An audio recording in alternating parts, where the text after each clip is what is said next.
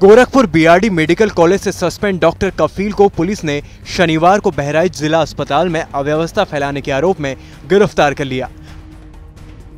आरोप है कि डॉक्टर कफील पुलिस की इजाज़त के बिना प्रेस कॉन्फ्रेंस कर रहे थे और अव्यवस्था फैलाने की कोशिश कर रहे थे।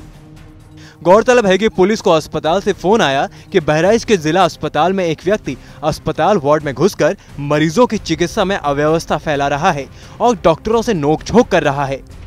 कंप्लेन के बाद पुलिस की टीम मौके पर पहुँची और चिकित्सा में बाधा डालने वाले व्यक्तियों को गिरफ़्तार कर लिया।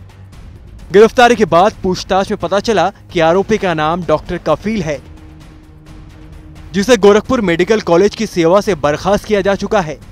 आपको बता दें कि ये वही डॉक्टर कफील है, जिन्हें गोरखपुर के बीआरडी मेडिकल कॉलेज में गत वर्ष ऑक्सीजन की कमी से हुए बच्चों की मौत के मामले में आरोपी बनाकर गिरफ़्तार किया गया था। शासन ने उन्हें सेवा से बर्खास्त कर दिया था। हालाँकि बाद में अदालत ने उन्हें जमानत पर रिहा कर दिया था। उत्तर प्रदेश की हर खबर अपने मोबाइल पर पाने के लिए आप YouTube पर जाकर यूपी तक ऑफिशियल को सब्सक्राइब कीजिए। आप हमें फेसबुक पर लाइक भी कर सकते हैं और ट्विटर पर फॉलो भी।